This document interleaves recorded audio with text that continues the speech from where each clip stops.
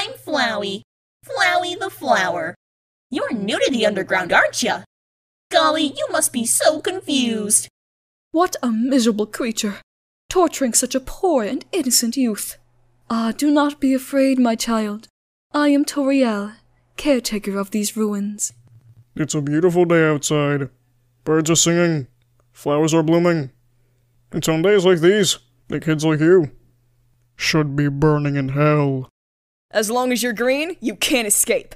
Unless you learn to face danger head on, you won't last a second against me. When I said face towards danger, I meant face towards the bullets. Well, human, here we are. My lab, my real lab, where I experimented with the soul